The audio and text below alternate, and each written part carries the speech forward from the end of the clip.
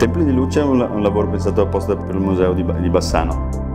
Lavora con la, con la luce, eh, con il segno e, e con, il, con il colore È un continuo cambio di movimento, di, di intensità del lavoro proprio da, dato dal, dal, cambio stesso della luce, che sia naturale o che sia artificiale. Esternamente c'è un'installazione neon, eh, occhi, occhi nel tempo, piramide in, in acciaio dove girano intorno queste, questi tre occhi che si accendono ad intermittenza. Questi tre occhi sono forme che sono nati da, da disegni che facevo ancora nel 95 in autobus.